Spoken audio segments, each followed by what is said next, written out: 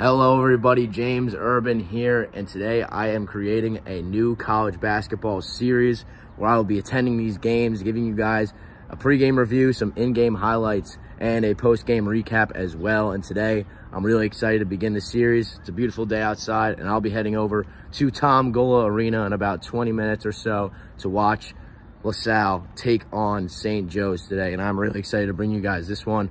And I'm going to start off with a pregame review and give you guys some players to watch out for. So I'm going to start with the visiting team, St. Joe's.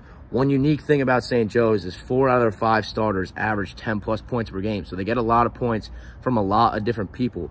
But we're going to focus on Erik Reynolds today, the junior who's been averaging 17 points per game. He's been a beast all season. He's going to be somebody that LaSalle has to account for on the defensive side. And then we go to the Explorers. And we're going to focus on the guy that gave Temple 41 points earlier this season, Jhamir Brickus. He can shy away sometimes and not be as aggressive as he should be, but he's somebody that I think in an in-city rivalry game, he's going to step up big time today for LaSalle. It's going to be a really exciting game. I'm really hyped to go over there to the arena, get there a little bit early, get seated. Uh, it's going to be a good environment. LaSalle is a plus four and a half underdog at home today against St. Joe's. St. Joe's has been solid this year. And uh, yeah, I'm just really excited to bring you guys this one.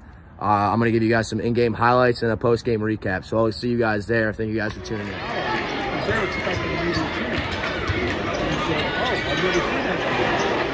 Thank you.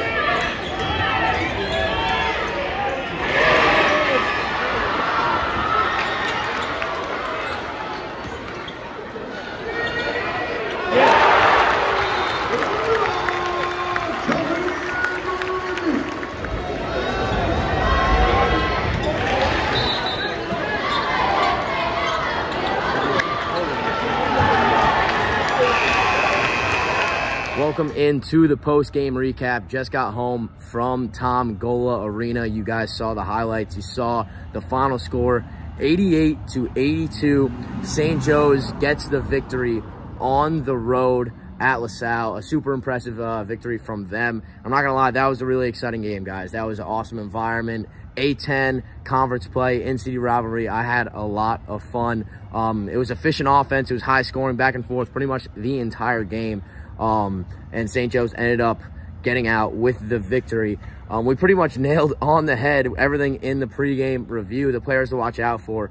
Erik Reynolds finished the game with 21 points, really efficient shooting. Jhamir Brickus finished with 24, really efficient shooting. But back to the St. Joe's starting five.